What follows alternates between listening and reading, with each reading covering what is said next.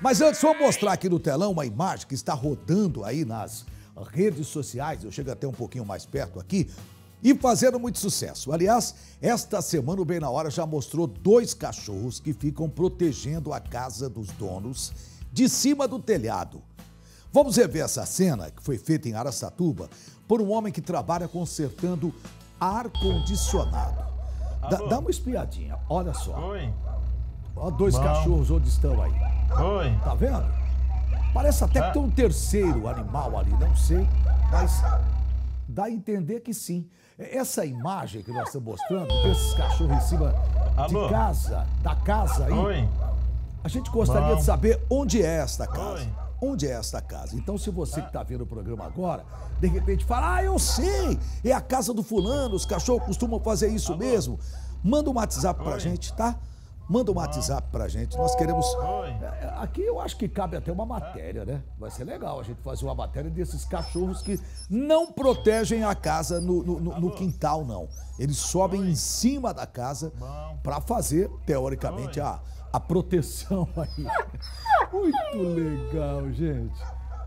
Que casa é essa, hein? É, vamos lá, vamos lá. Quem sabe a gente descobre. Você pode nos ajudar aí. De repente você tem uma pista, manda pra gente.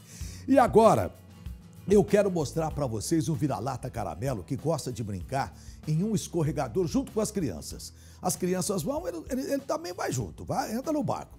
Esse vídeo está rodando aí na internet, está fazendo também muito sucesso e a gente dá uma espiadinha, ó, chegou para nós. Dá uma olhadinha, ele sobe a escadinha, tranquilo, tranquilo. As crianças estão escorregando, ele também vai.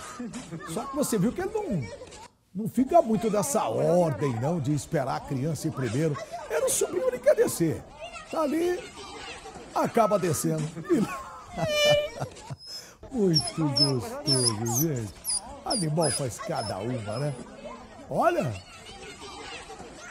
Muito legal, muito legal. Essa é uma imagem gostosa que a gente mostra aqui pra gente, como é que eu digo, mostrar é, para você, sempre no intuito de saber que esses animais são maravilhosos, tão bem cuidados e ainda nos dão essa alegria.